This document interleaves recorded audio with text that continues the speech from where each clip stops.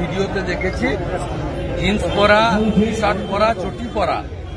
অনেক ক্যাডাররাও ছিল, যারা এই বল কাজে হাত লাগিয়েছে।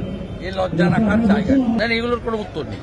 যেখানে অরাজনৈতিক আন্দোলন, মানবাধিকার লঙ্ঘিত হচ্ছে, সরকারের দমন পীড়ন হচ্ছে, সেখানে উচিত সমস্ত সংবেদনশীল মানুষ তাদের এগিয়ে এসে সাপোর্ট করা। সে যে যেই দলের হতে পারে যে যে ধর্মের হতে পারে।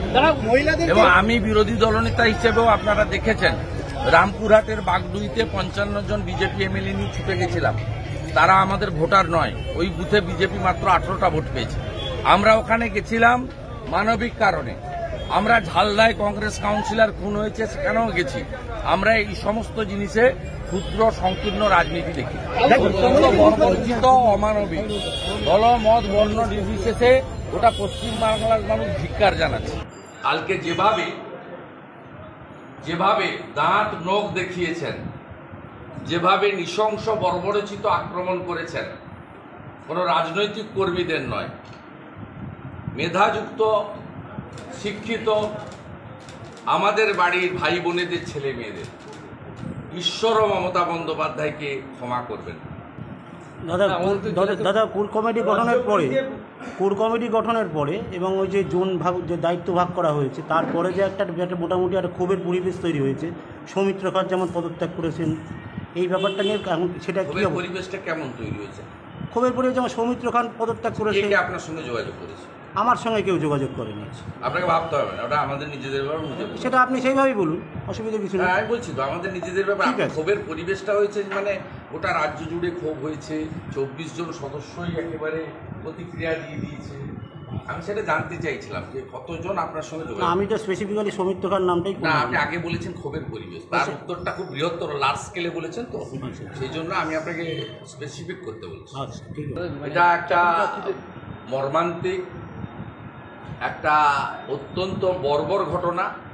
স্বাধীন দেশে স্বাধীন দেশে ন্যায্য দাবিতে আন্দোলন করা দলহীন, মেধাযুক্ত, শিক্ষিত যুবক, যুবতীদের সঙ্গে রাষ্ট্র অর্থাৎ রাজ্যের প্রশাসন এই ধরনের ব্যবহার করতে পারেন না।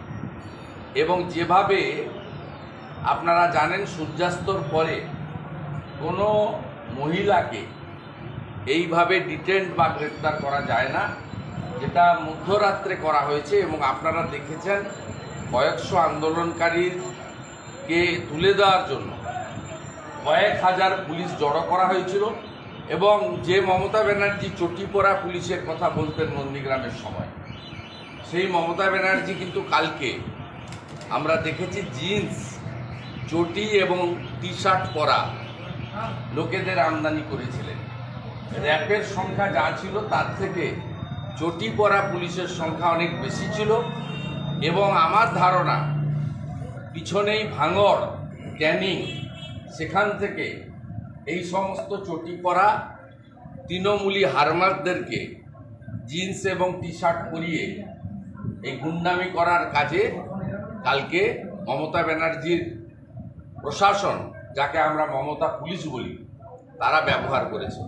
এটা নিন্দা করার মানে কোনো সীমা নেই এবং আমি প্রথম থেকে বিরোধী দলনেতা হিসেবে বলেছি যে আন্দোলনকারীদের সঙ্গে পর্ষদ, সভাপতি সচিব, শিক্ষা সচিব, শিক্ষামন্ত্রী, এমনকি মুখ্যমন্ত্রীরও উচিত ছিল এদের একটা ডেলিগেশনের সঙ্গে আলোচনা করা।